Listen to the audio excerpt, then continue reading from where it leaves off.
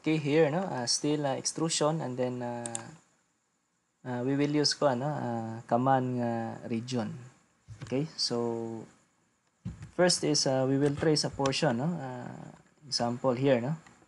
So instead of polyline or rec uh, we will use uh, regular uh, line lang class no? Type L enter. This uh, just uh, trace the points click. Then uh, click the second point third and then uh, another point and then close no? Uh, click that one. Then uh, press enter. Pressing enter key will also end the command so what will happen is uh, uh, we can see no it's selected no? so we have the lines no? but uh, the lines are individual no? lahi-lahi sila class so unlike the rectangle if we have the, the rectangle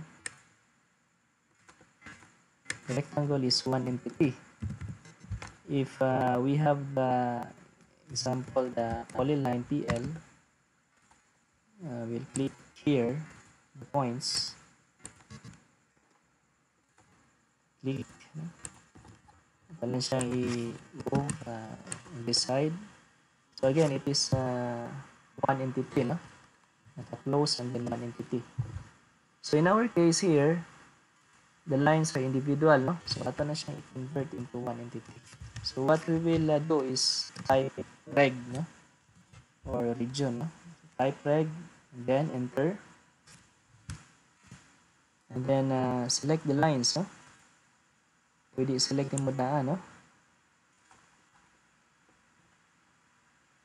Okay so na-select na nato no? So make sure nga walay ano lapas-lapas close siya so select na then uh, press uh, enter no okay so we will check no kung if the the object is uh, already uh, one entity no uh, the same as uh, this uh, object uh, using rec and uh, object uh, using polyline.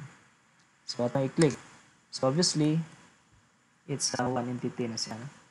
it's uh, it's being converted.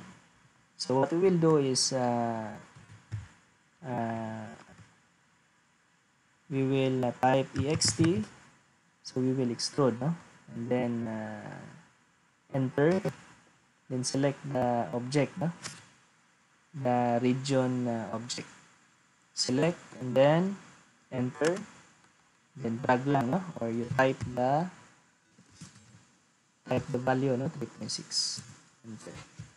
Okay so we have the kuan no? Kana siyang uh, wall created using uh, extrusion with the region.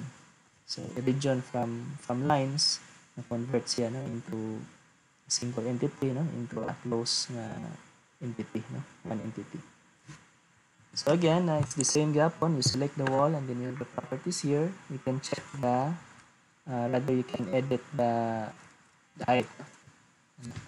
Go back to 3.6 okay so that's one uh, one or another uh, another method